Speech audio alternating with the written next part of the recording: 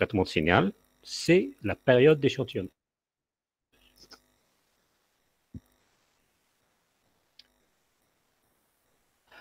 Alors, voyons un,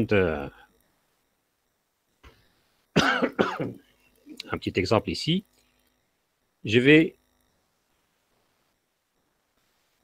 considérer un signal sinusoïdal de fréquence 100 Hz. Je vais l'échantillonner à la fréquence de 500 Hz.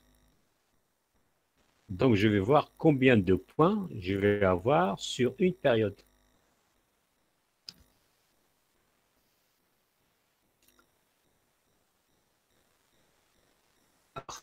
La fréquence, c'est 100 Hz. Ça veut dire que la période, c'est 0,01 secondes. La période d'échantillonnage, donc c'est 1 sur la fréquence d'échantillonnage, c'est 1 sur 500, ça veut dire c'est 0,002 secondes. Ça veut dire qu'à chaque 0,002 secondes, je vais prendre un point. 002, 004, 006 et ainsi de suite.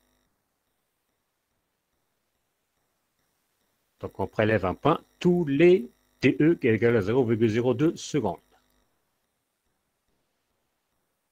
Alors pour un signal de durée 0,01 seconde, parce qu'il demande combien de points sur une période. Donc je vais prendre la durée de mon signal, une période.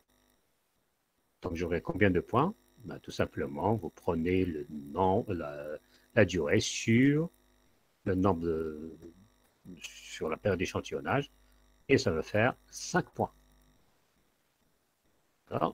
Donc mon signal, voilà, entre 0 et 0,1 par une période d'échantillonnage de